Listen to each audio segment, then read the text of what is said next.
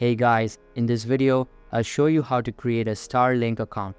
Alright, let's begin. First open your web browser and search for Starlink and click the first result as you can see here. After that go to this option where it is Roam and from here you have to click on this Order Now button.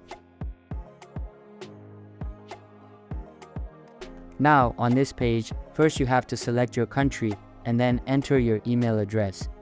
Once done, click on this sign up button and your account will be created on this Roam section. And here you can activate your account easily and without any problems. Next we have to go to residential section if you want a residential Starlink connection. Here, just provide your address and then click on this order now button. This will redirect you to this page where you have to select a plan. So simply select a plan that you want to get and click on this checkout page. On this page, you have to provide your personal information like your proper address, your postal code, and all of that. You also have to provide your payment details like your card number, expiration date, and CVV.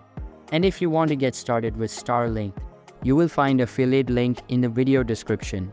And once you have provided all of the information, simply go ahead and check and you will be good to go. So that's basically how you can create a Starlink account. And that's it for this video. If you find this helpful, consider subscribing and giving this a big thumbs up. Thanks.